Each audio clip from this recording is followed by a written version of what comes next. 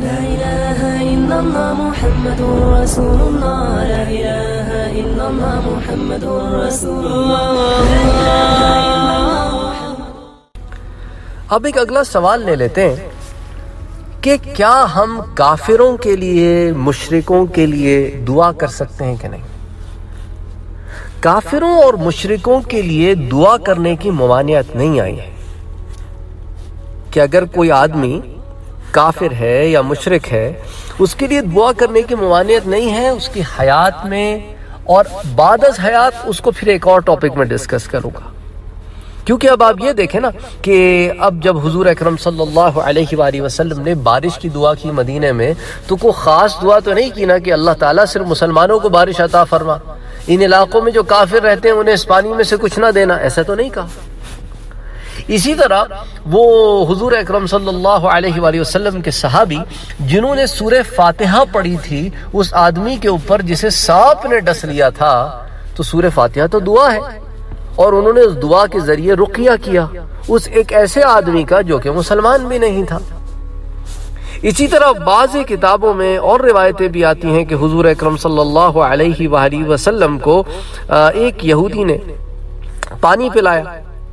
تو آپ نے اس کے لیے دعا کی۔ اور اس دعا کی برکت سے ہوا یہ کہ اس کے جو بال تھے، وہ ساری زندگی جو ہے وہ کالے رہے۔ کیونکہ اللہ تعالیٰ کے پیارے رسول محمد مصطفیٰ صلی اللہ علیہ وآلہ وسلم نے اسے دعا دی تھی کہ اللہ تمہیں ہمیشہ حسن و جمال والا رکھے۔ تو مرتے دم تک اس کا کوئی بال سفید نہیں ہوا تھا۔ تو غیر مسلم کو آپ کون سی دعا دے سکتے ہیں؟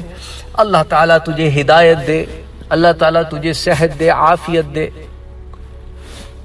اس طرح کی دعائیں تو دے سکتے اللہ تعالیٰ تیرا کام کر دے، اللہ تعالیٰ تیری مشکل آسان کر دے۔ اور ان کے لیے تو ہدایت کی دعا مانگتے رہنا چاہیے۔ بلکہ میں تو خطبوں میں خاص اہتمام کرتا ہوں کہ ہدایت خاص صرف مسلمانوں کے لیے نہیں مانگتا۔ میں اپنی دعاؤں میں انہیں شامل کرتا ہوں کہ اللہ تعالیٰ آپ اپنی ساری مخلوق کو ہدایت دیں۔ اللہ تعالیٰ، کیونکہ بھئی اللہ تعالیٰ کی رحمت تو جوش میں ہے۔ ہم کیوں نہ اللہ سے مانگے کہ اللہ ان کو بھی ہدایت دے۔ یہ بھی جنت میں جائیں۔ جنت صرف ہماری اکیلے کی ملکیت تھوڑی ہے۔ اور دعا مانگنا ہمارا کام ہے، ہدایت دینا اللہ کا کام ہے۔ من یہدیہ اللہ فلا مضل لا ومن یضلل فلا ہادی اللہ جس کو ہدایت دے، کوئی اسے لے نہیں سکتا، جسے ہدایت نہ دیں اس کو کوئی دے نہیں سکتا۔ ہمارا کام ہے مانگنا، ہم اللہ سے مانگتے ہیں کہ اللہ تعالیٰ سب کو ہدایت دے، اللہ تعالیٰ سب کو ہدایت دے۔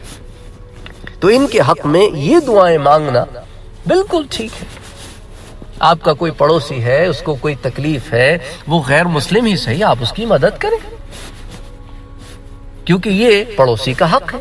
پڑوسی کا حق ادا کرنے کے لیے دین شرط نہیں ہے اور نہ کبھی رہی ہے نہ ادا کریں گے تو پکڑ ہے کہ تمہارا پڑوسی تھا، تکلیف میں تم نے کیوں کچھ نہ کیا۔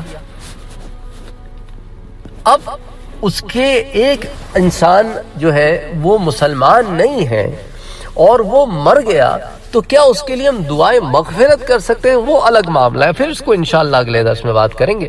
وَمَا عَلَيْنَا إِلَّا الْبَلَاغ.